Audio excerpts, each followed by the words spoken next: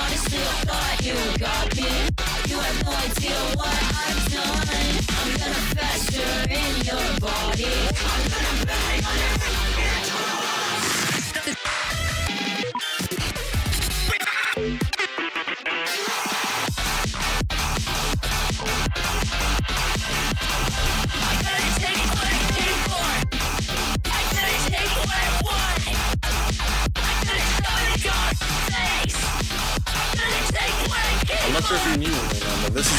cool looking and uh, insanely good. But wow, it was lagging. A little bit of a challenge when it, it was lagging. Uh, it wasn't lagging when I was playing it myself, but it was lagging. It took me a bit longer than it should have because it was lagging a lot. But uh, yeah, good level.